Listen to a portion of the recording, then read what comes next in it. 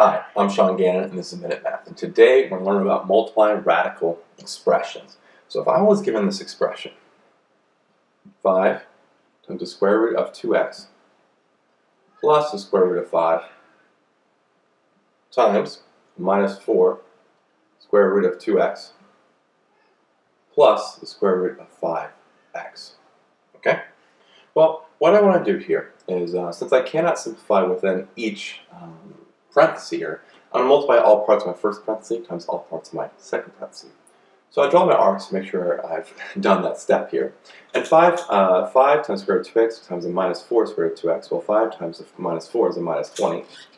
And then we can combine this into one big, um, one big square root here of 2 times 2 times x times x. That's an x right there. Okay. Now, we do that. That's 5 square root of 2x times square root of 5x. 5 is just on the outside. We square root here of, well, we'll put our numbers together, 2 times 5 times x times x. Okay? Now, next part here, square root of 5 times a minus 4 square root of 2x is a minus 4 square root into one big square root here of 5 times 2x. Okay? Then lastly here, square root of 5 times the square root of 5x combines to be one big square root, 5 times 5 times x. Okay? So now let's go simplify each one of these and see what we can do here. Well, we see a a pair of 2's here and a pair of x's. Since I have that, I can come on the outside. We have minus 20 times 2 times an x, and there's nothing left in the square root, so we're kind of done with that. Here, I don't see anything except for a pair of x's.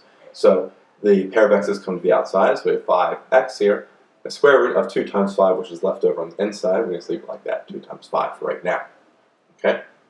Well, this next one here, a minus, well, there's no pairs going on, right? There's no pairs, 5, 2, and the x's, so I'm going to leave as 4 times the square root, and 5 times 2 is 10, so we have 10x there. Lastly here, we have a pair of 5s, okay, pair of 5s. So we put a single 5 on the outside, and we're left with a single x on the inside. So let's see if we can tidy this up a little bit and simplify here. Negative 20 times 2 is minus 40, right, 40x here, plus 5x, 2 times 5 is 10, times the square root of 10, minus 4 square root of 10x here in the parenthesis, and then plus 5 square root of x.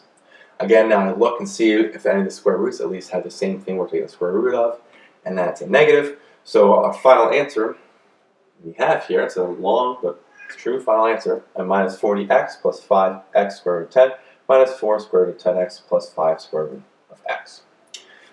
So let's recap. We're given 5 square root of 2x plus square root of 5 times minus 4 square root of 2x plus square root of 5x. All parts of my first parenthesis get multiplied by all parts of my second parenthesis. When we do that, we got this here, minus 20 times the square root of 2 times 2 times x times x, plus 5 times the square root of 2 times 5 times x times x, minus 4 times the square root of 5 times 2x, plus square root of 5, 5 times 5x.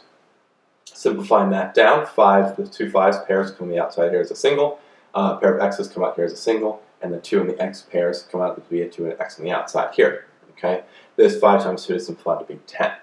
Okay, Then we simplify from there, just kind of multiply it out, or minus 20 times 2 and 2 times 5, you get 10 and minus 40 there, or reverse there, minus 40 times 10. So again, this gives us our final answer here of just a minus 40x plus 5x square root of 10 minus 4 times the square root of 10x plus 5 square root